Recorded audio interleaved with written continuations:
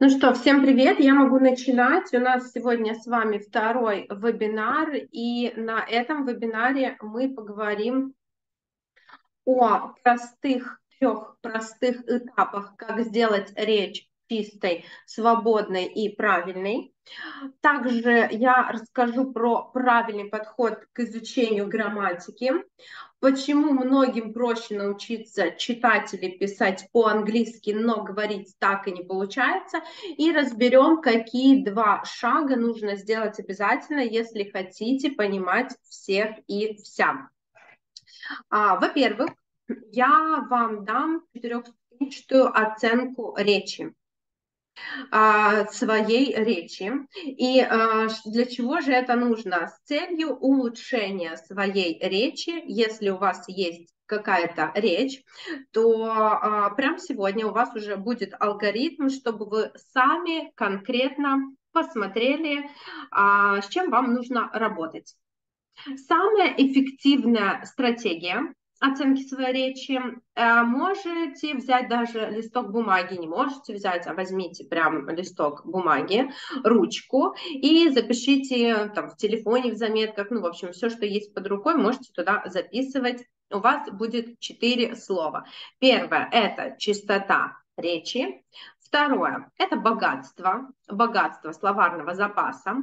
Третье – это скорость. И четвертое – это внутреннее ощущение свободы.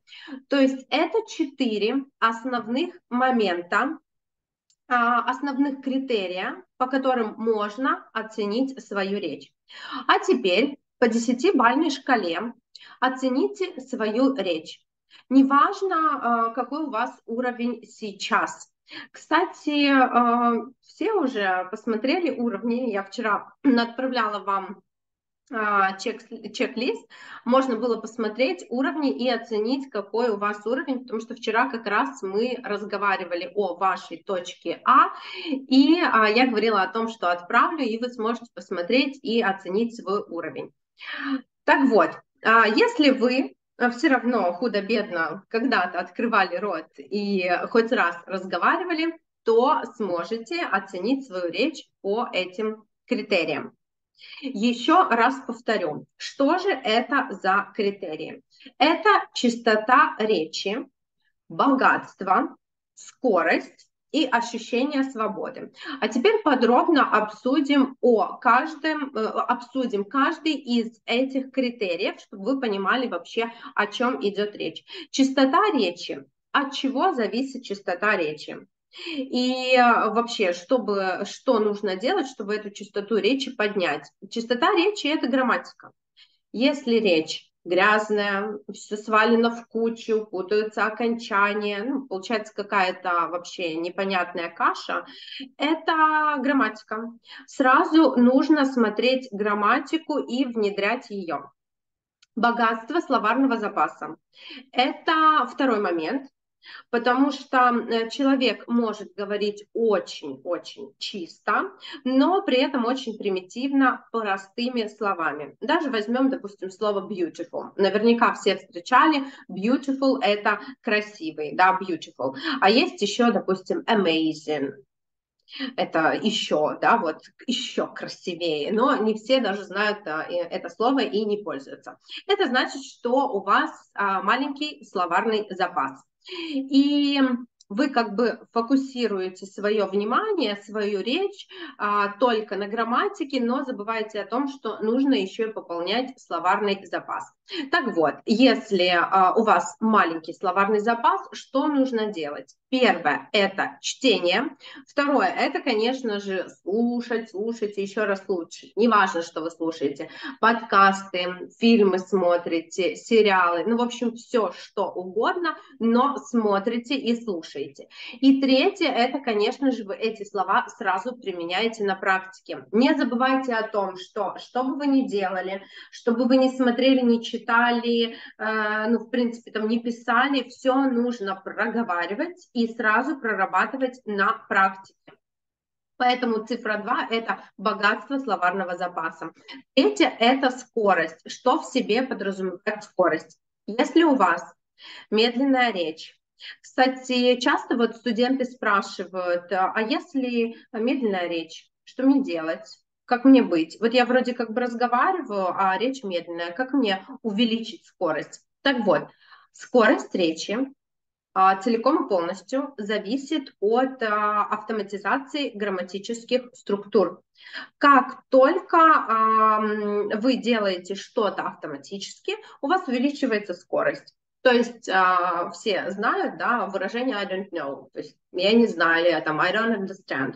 То есть вы не задумываясь, его сразу произносите с максимальной скоростью. Почему? Потому что вы не задумываетесь, что вы куда вставляете, какие слова подбираете, какую грамматическую конструкцию вставляете. Все, вы проговорили, и на этом все. И четвертое – это внутреннее ощущение свободы. Внутреннее ощущение свободы эм, всегда будет в первую очередь чувствовать ваш собеседник. Потому что у нас есть такая вещь, как она называется зеркальные нейроны. Что это значит? Что а, вот вы вроде говорите там быстро, богато, чисто, красиво, но у вас на лице маска вот этой вот суперболи, всей жалости к себе и а, трудности изучения английского и вообще этих дней, то а, ваш собеседник тоже не будет получать удовольствие. Он будет точно так же, с таким же настроением смотреть на вас и воспринимать ту информацию, которую вы ему проговариваете. А, то есть он вместе с вами будет страдать. Если у вас нет ощущения свободы, то есть в этом случае два направления. Какие это направления? Первый момент – это снижать важность.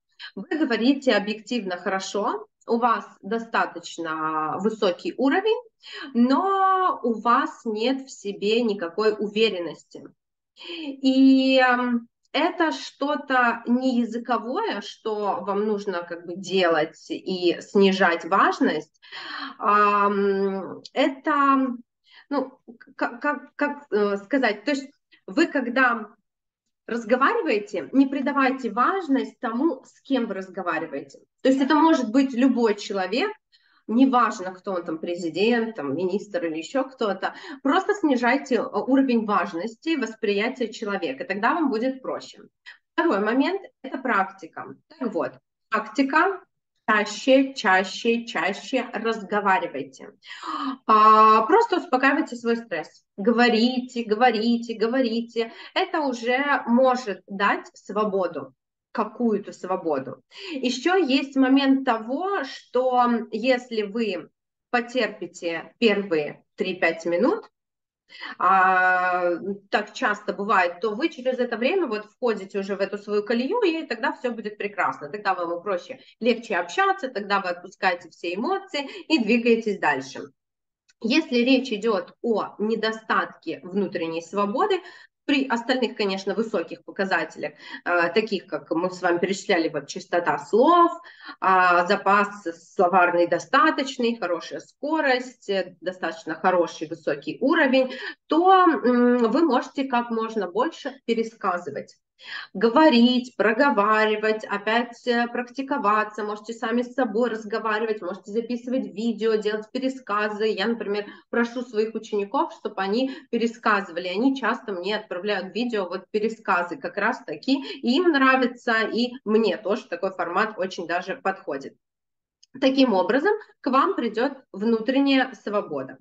Даже если вы будете теряться, стесняться, но вы будете знать какой-то материал, то есть тот материал, который вы прорабатывали, а, то а, вы прекрасно это сделаете, вы прекрасно проговорите. Почему? Потому что у вас проработан этот навык. Поэтому здесь этой темы мы разобрались, и я думаю, что всем стало предельно ясно и понятно, что а, у нас есть чистота речи, богатство словарного запаса, скорость и, самое главное, ощущение внутренней свободы. Правильный подход к изучению грамматики. Что же за правильный подход к изучению грамматики? Этот подход можно сравнить с Лего. Вчера мы с вами э, рассматривали эти о, господи, пазл, забыла, как называется пазл. Сегодня мы с вами рассматриваем как раз-таки лего. То есть все видели, как выглядит лего. Вот я здесь даже еще в слайд добавила, вы можете спокойно посмотреть, да, вот она лего. Кто-то даже в него играл. Ну, у меня, допустим, есть ребенок, я играла и играю. Так вот, почему на язык нужно смотреть как на конструктор? Потому что если вы смотрите на фразы как на какие-то неменяемые штуки, это просто взрыв мозга. Ну, вот действительно, по-другому никак этого не назовешь. Каждую фразу нужно воспринимать как конструируемую фразу. Что значит конструируемая фраза? А, если у вас э, вначале возьмем так, а, если у вас проблемы в речи, то есть а, проблемы с речью, то есть большая вероятность того, что вы эти фразы просто заучиваете, зазубриваете какие-то отдельные фразы, отдельные выражения или отдельные слова. И вот здесь как раз-таки самый правильный подход к изучению грамматики, это когда вы заучиваете фразу, например, которая вам будет нужна, но с высоким индексом конструированности. Что такое высокий индекс конструированности? Это вот сейчас прям очень важная, супер важная вещь, поэтому внимательно здесь слушайте, а можете даже и записать. Объясню вам так, что высокий индекс а, конструированности, к примеру, мы с вами учим диалоги, там, читаем какие-то диалоги, что-то услышали, предложение, фразу, и возьмем здесь сразу на примере и разберем. Так что у нас сегодня в нашем э, марафоне, в нашем вебинаре будет не только теоретическая часть, но назовем ее еще практической частью. Эм, это диалоги из серии Directions. Directions – это направление, то есть как пройти, как добраться, спросить э, и так далее. Возьмем фразу, которая будет звучать Can you tell me the way to the station? Можете ли вы или не могли бы вы мне подсказать, как пройти до вокзала, до станции или путь к вокзалу или станции. И вот смотрите, как э, здесь как раз-таки в этой фразе очень ярко выражено, что язык это конструктор. Возьмем последнее слово, station. Вот что у нас может получиться. Can you tell me the way to the station? Can you tell me the way to the park? Подсказать, как добраться до парка, путь к парку. Can you tell me the way to the market? Market, рынок. Can you tell me the way to the supermarket? Can you tell me the way to the bank? Все. То есть вы поменяли в этой фразе, заметьте, только одно слово вы меняете, как пазл, как вот этот конструктор Лего передвигаете, и у вас уже получается совсем новая фраза. Идем дальше. Can you tell me the way? А, вернусь еще назад и скажу здесь, что если вы знаете название мест, а я думаю, что вы знаете, то вы уже можете переставлять это и называть те места, куда вам нужно э, добраться. Смотрим дальше. You tell me the way? Uh, заменим теперь слово the way. Я его специально здесь подчеркнула, чтобы оно вам бросалось в глаза, вы могли э, посмотреть, что именно это слово мы сейчас будем заменять. Что здесь можно подставить? Все что угодно, все, что вам приходит на ум. Can you tell me the time? Время. Can you tell me the price? Цену. Can you tell me your address? Свой адрес. Can you tell me your name? Свое имя, в общем, все что угодно. И заметьте, что мы все еще работаем с фразой can you tell, can you tell. Теперь давайте возьмем просто фразу can you tell, оставим ее и будем менять tell. На что мы его можем поменять? Can you show me this?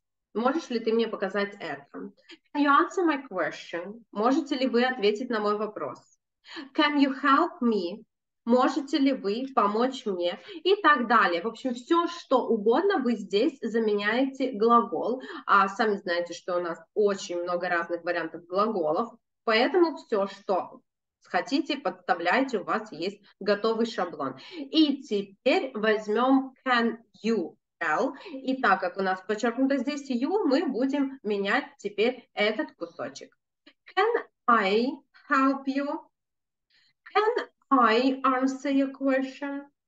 Can they do something for you? Как раз таки буквы SMTH – это сокращение от something.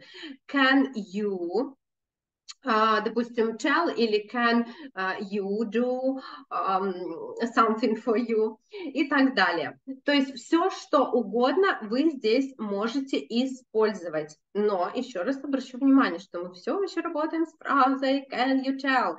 То есть вместо, меня, э, вместо имения меняете на любое слово и работаете. Все. Вот здесь главное запомнить то, что вам нужно мыслить структурами. То есть мыслить языком как конструктором. Поэтому а, не зря я вам вначале показывала Лего, и вы посмотрели, что мы меняем всего одно слово вот в этом кусочке, в этой фразе, которую мы сегодня разбирали, и у нас полностью меняется уже смысл этой фразы. То есть вы а, мыслите языком, что каждое слово не отдельно друг от друга, а как лего, которое вы переставляете, и из одних и тех же деталей можете собрать что-то совершенно новое, совершенно разное.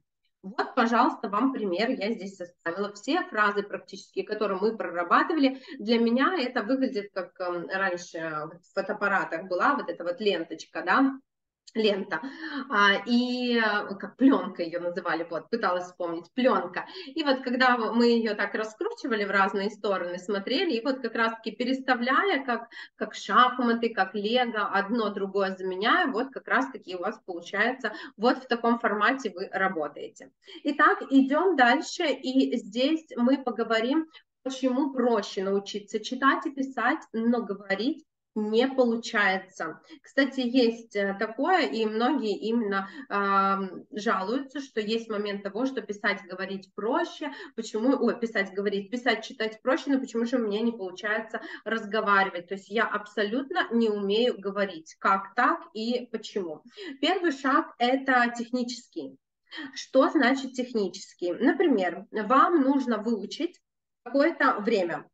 А, возьмем, допустим, время, ну, самая банальная тема – это present perfect. А, это чаще встречается. Понятно, что present perfect – это у нас э, достаточно сложное время, и оно не э, изучается... Сейчас, одну секундочку. Одну секунду. Хотела вывести видео сюда.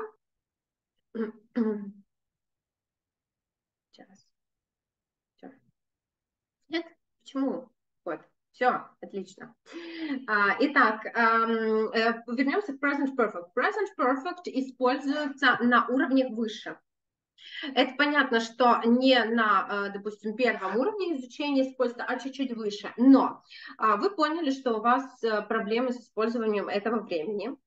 А, вы а, берете учебник, вы находите какой-то материал в интернете, ну, в общем, все, что угодно, и вы а, как раз-таки с этим временем работаете. Это все прекрасно, вы проработали, но что же, как бы, ну, вообще, что дальше делать? Окей, вот я взял учебник, что я буду делать? А ничего. То есть, если вы э, никогда не открываете рот, то вы никогда, в принципе, говорить-то не будете. Но смысл от того, что вы поработали с этим временем, окей, что дальше? Поработали, а что дальше? Непонятно, да? А, делаете какие-то упражнения, либо еще ну вот, наверное, это мое такое любимое, вот, сидите в приложениях, просто тыкаете, ну, тыкаете на правильный, неправильный вариант, и что? Ну, тыкну, тык, тыкнули, а дальше? Все. Рот, пока не откроете, пока не начнете разговаривать, у вас ничего не изменится, ничего не поменяется, и вы как не разговаривали, так и не будете разговаривать. Поэтому а, посмотрели, выучили, выучили правила, разобрали, как им пользоваться, сделали упражнение. Следующий шаг – это смысловой. А, что значит смысловой шаг? Это как раз-таки в это время вы а, сравниваете то, что вы прошли, с чем-то другим. Например, возьмем же опять вот время present simple, вы уже в тетради там где-то в учебнике а, с ним поработали, теперь вам нужно а, его использовать, то есть вам нужно для начала сравнить. Ну, самое примитивное, с чем мы будем его сравнивать, это просто past simple. Present perfect сравниваете с past simple. А, отлично, вы сравнили, поняли, увидели, а, чем отличается, идем дальше. Вот это смысловой вариант, когда вы уже это поняли. И теперь шаг третий, и он самый главный. Если у вас правило отдельно, а речь отдельно, то вы 100% этот третий шаг никогда не делали и не делаете. Поэтому что же это вообще за третий такой шаг?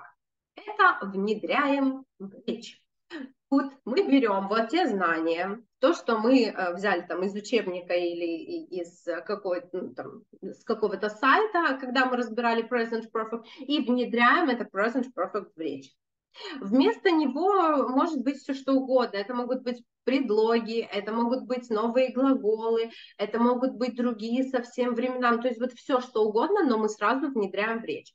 Хорошо, если вы, допустим, учите язык для карьеры, вы можете практиковаться в конференциях. У вас в любом случае есть какие-то созвоны, есть конференции а, с бизнесом, партнерами. Вы можете внедрять в речь сразу там и практиковаться и прорабатывать. Но что делать тем, кто просто учит язык для себя? Я вам расскажу.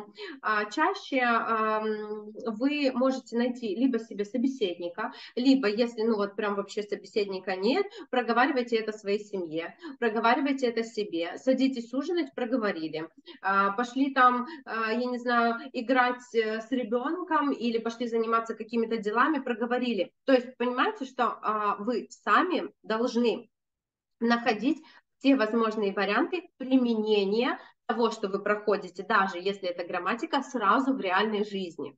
Идете, рассматриваете небо, птичек, улицу, ну вот все, что хотите, сразу внедряйте рассказывайте себе. Изучили время просто past simple, это прошедшее время. Идите, проговаривайте, с утра идете там на работу или просто вышли попить кофе, проговаривайте, что вы делали с утра. Выучили future simple, будущее время, идете, проговаривайте, что вы будете делать, чем вы будете дальше заниматься. Ну, в общем, все что угодно, но помните, что вам нужно находить все возможные варианты внедрения в речь того, что вы применяете, того, что вы изучаете. Иначе, если не внедряли и не внедряете, то и разговаривать, говорить тоже не будете. Теперь поговорим о двух шагах, чтобы понимать всех и вся. Для того, чтобы понимать речь на слух и вообще а, речь, понимание речи на слух, это такая глобальная проблема, разговорная речь и понимание на слух – это две глобальные проблемы.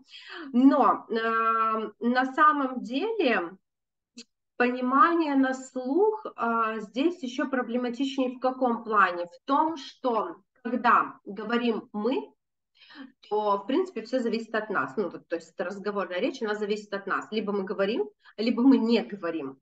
Но если говорят нам, вот в этот момент мы заложники этой ситуации, потому что нам нужно собраться, разобрать, о чем нас спрашивают или что нам, нам на, нас спрашивают, знать, как ответить. Плюс а, у нас еще появляется вот этот вот дефицит времени, мы уже загнаны в какие-то рамки, и еще не забываем о том, что у каждого собеседника есть свой акцент, свое произношение, и поэтому вот, вот это тоже нас вводит в некий стресс. Поэтому вот здесь как думаете, что это? Ну, я знаю, что вы сейчас ответите, вы скажете, что это круг. Это нормально, так говорят все. Круг. А почему это круг? На самом деле это не круг, это просто шесть отрезков, которые распределены вот, э, ну, в круговом порядке. Но мы почему-то все считаем, что это круг. Почему? Потому что э, наш глаз видит, что это шесть отрезков, но вот эти вот пробелы он дорисовывает, и для нас это выглядит в форме круга. Это зрительное восприятие. Зрительное восприятие работает как? Мы что-то видим, посылаем сигналы, импульсы в мозг, и за счет этого у нас выстраивается э, готовая картинка. Вот то же самое происходит с восприятием на слух. То есть восприятие на слух – это не только наш слух, это и наш мозг мы слышим, вот как многие говорят, о, я ничего не слышу. Нет, вы слышите, просто вы не понимаете, потому что здесь вы получаете информацию, а в мозг она не поступает, потому что ну, на то есть разные свои причины. Но любой звук, обрабатывается мозгом и несет смысл уже вот как раз-таки после этой обработки.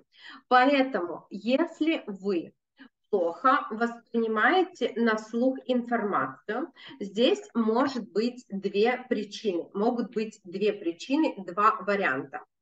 Это может быть не натренировано ухо, это один из вариантов.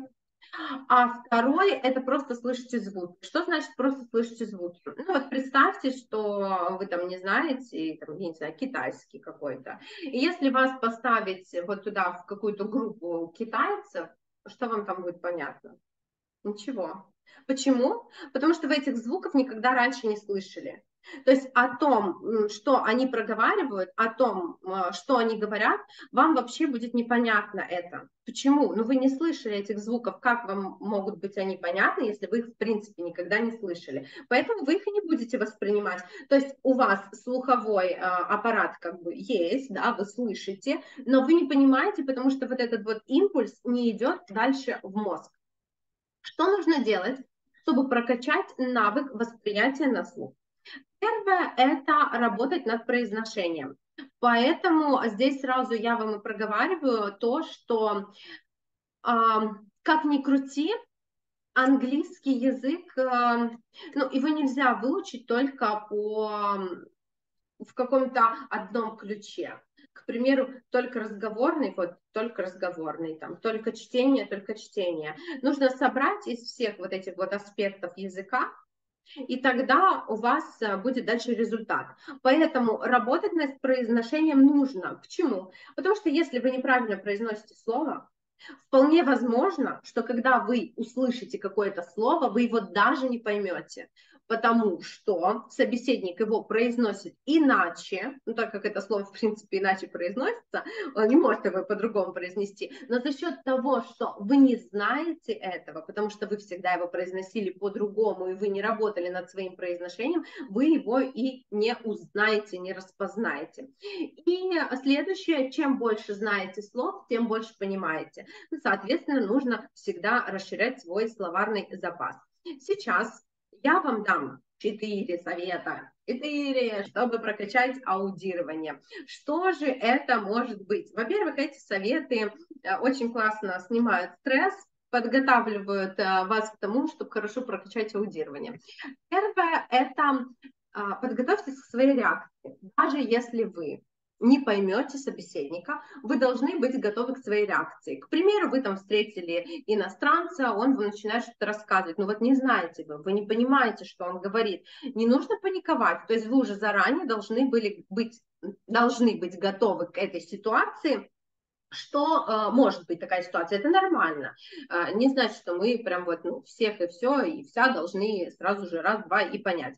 Поэтому вы можете заготовить несколько вопросов с помощью которых вы его попросите повторить или говорить помедленнее, или а, просто попросить его переформулировать какое-то слово, потому что именно это слово, именно в этой связочке вы не знали. Допустим, sorry, could you say it again? Простите, вы не могли бы повторить? Или I'm sorry, I didn't catch that. Простите, я не расслышал. Excuse me, could you repeat the question? Простите, не могли бы вы повторить ваш вопрос? Excuse me, what does this word mean? Извините, а что значит это слово? Что оно обозначает? Но старайтесь избегать слова what, потому что what мы привыкли это что? Ну и как бы для вашего собеседника будет эм, ну, не очень приятно услышать what, типа, ну, что ты хочешь и так далее. Поэтому вот это excuse me, sorry, I'm sorry, repeat please, повторите, пожалуйста, ну, в общем, все что угодно, используйте только не what. А второе, что нужно делать, это развивать привычку слушать, да, это нормально. Пять минут в день выделяйте себе каждый день, чтобы вот эту привычку развить. А, в тренажерном зале включите себе на 5 минут в наушники а, что-то на английском. Опять же, подкасты, видео, песни, все что угодно. Вот все, что вам пришло в голову, вот тем и пользуйтесь. А, гуляете, пьете кофе, едете на работу, там, я не знаю, обедаете. Ну, в общем, неважно, чем вы занимаетесь, просто внедряйте эту привычку слушать. Третье – это позитивный настрой. Да, казалось бы, Зачем? Объясню зачем. Потому что первое, что э, вы можете сделать, чтобы вселить в себя уверенность, а, это, конечно, проговаривать. Я могу, я молодец, у меня все получится, вот это вот, знаете, эй, давай, все, вперед. А, это тоже нормально, но это внешняя история, а, потому что очень быстро вот это вот ощущение пропадает, и несмотря на то, как бы вы себя позитивно не настраивали, не подбадривали, не вселяли бы сами в себя уверенность, когда эта уверенность идет изнутри, это уже совсем другие ощущения. Вот вы можете, опять же, э, слушать подкасты, э, смотреть сериалы, смотреть видео, то есть все время поднимать вашу планку. Поднимать именно вот эту вот планку постоянно. И э, здесь как раз-таки вам нужно найти такую зону дискомфортного комфорта. Что же это за зона? А, давайте сравним это с, со спортсменами.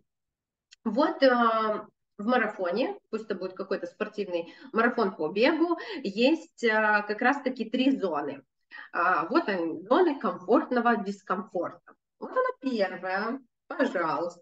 Первое, лежа на диване, ничего не делает, все прекрасно. Это первая зона. Есть третья зона, когда наоборот он настолько бежал, настолько готовился, что переусердствовал с этим всем, и вот э, как бы вроде, э, вроде, вроде как бы человек есть, но все, он уже упал, его уже откачивают, он обессилен, он уже дальше никуда, соответственно, не дойдет. И как раз-таки есть вот эта вторая зона между первой и третьей, вот она зона диском, э, комфортного дискомфорта. Это как раз-таки вот это среднее.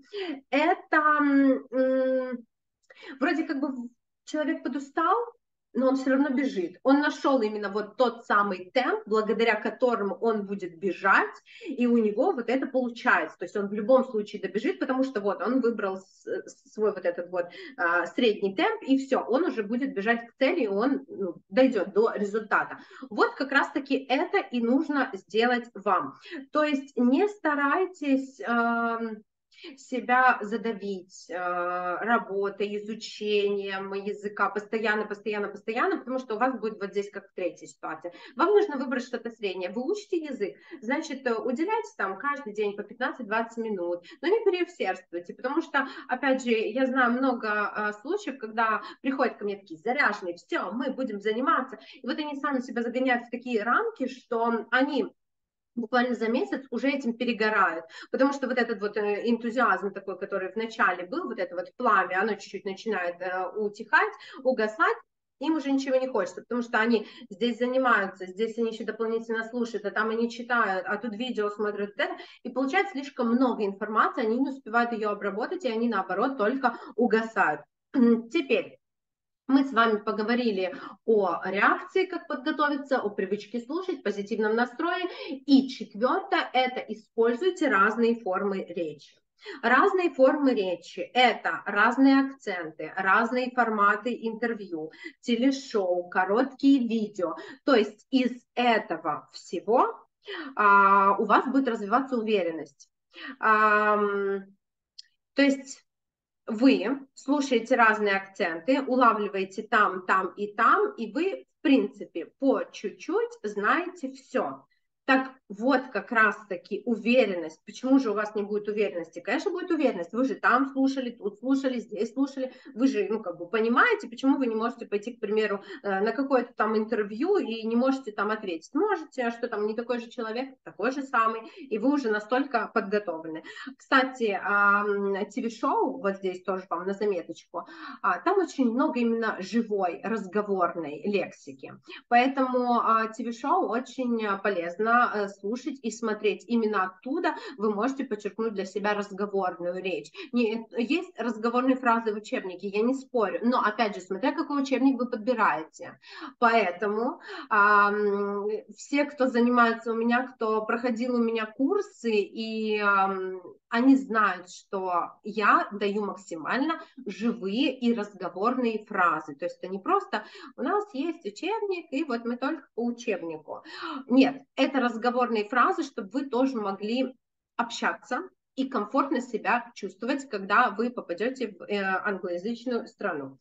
А теперь две топовые техники как прокачать аудирование. Техника номер раз. Читать и слушать одновременно.